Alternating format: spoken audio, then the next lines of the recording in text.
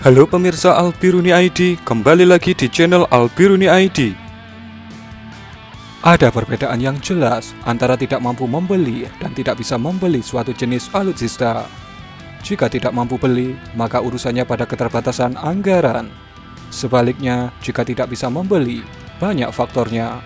Salah satunya tidak ada izin pembelian dari negara penjual. Umumnya, yang satu ini terkait dengan urusan politik dan strategi pertahanan dalam aliansi. Kilas balik ke pernyataan Wakil Menteri Pertahanan, Wahyu Sakti Trenggono di situs cnnindonesia.com 18 Maret 2020. Disebutkan ia membuka peluang untuk mengganti pengadaan Su-35 dengan jet tempur F-35 dari Amerika. Alasan Wamenhan cukup bisa dimengerti. Pasalnya, dengan kemungkinan batalnya pengadaan Su-35, maka kekuatan udara Indonesia menjadi begitu inferior dibandingkan dengan Singapura dan Australia, di mana kedua negara tersebut dalam proses pengadaan varian F-35 Lightning II dan beberapa unit sudah mereka operasikan. Lepas dari aspek anggaran di Indonesia yang entah cukup atau tidak, rupanya dari pihak Amerika Serikat justru merespon dengan menawarkan F-16 Viper. Kemudian, belum lama ini, Chief Financial Officer atau CFO Lockheed Martin, Kenneth Posenrade, di situs defensenews.com pada 23 April 2020, memberikan pernyataan yang cukup mengejutkan. Menurut saya, F-16 adalah pesawat tempur generasi keempat yang sangat bagus untuk pelanggan kami di berbagai negara, khususnya bagi pelanggan yang tidak mampu membeli F-35 atau terus terang tidak dapat membeli F-35, ujar Posenrade. Tanpa bermaksud dalam kutip merendahkan, ia berdalih akuisisi F-16 adalah langkah transformasi jika suatu saat negara pembeli akan benar-benar beralih ke F-35.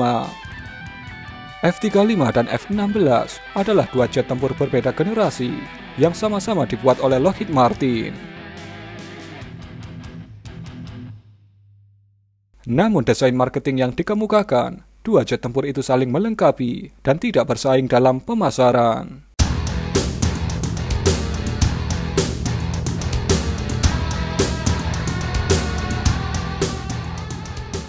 Lebih lanjut, Kenneth Posenrade mengatakan bahwa rantai pasokan suku cadang pada F-35 kemungkinan akan terganggu akibat dampak virus corona, di mana jadwal pengiriman F-35 berpotensi akan tertunda di masa depan. Hal yang berbeda dengan F-16, justru pasokan komponen dan suku cadang F-16 hanya mengalami dampak yang kecil akibat virus corona. Seperti pernah diwartakan sebelumnya, Lockheed Martin telah memindahkan jalur produksi F-16 dari Fort Worth, Texas ke Greenville di South Carolina pada tahun 2019. Pemindahan jalur produksi ini tak lain untuk mengakomodasi produksi 16 unit F-16 Block 70 pesanan Bahrain. Sejak pesanan Bahrain pada tahun 2018, Lockheed Martin telah mengumpulkan kontrak 8 unit F-16 untuk Bulgaria, 14 unit untuk Slovakia, dan yang terbesar adalah penjualan 66 unit F-16 Viper untuk Taiwan.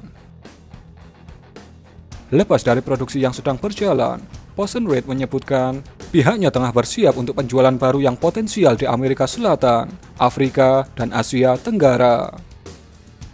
Di Afrika, F-16 saat ini telah digunakan oleh Mesir dan Maroko.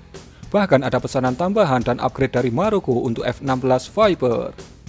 Negara Afrika lain yang menyatakan minat pada F-16 adalah Botswana.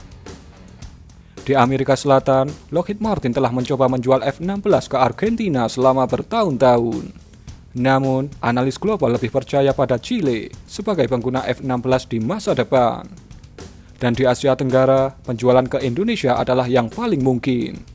Terlebih sudah ada pernyataan dari Kasau Marskal TNI Yuyusutisna untuk mengakui sisi dua skadron F-16 Viper. Menurut Anda, apakah Indonesia tidak mampu ataukah Indonesia tidak bisa untuk membeli F-35?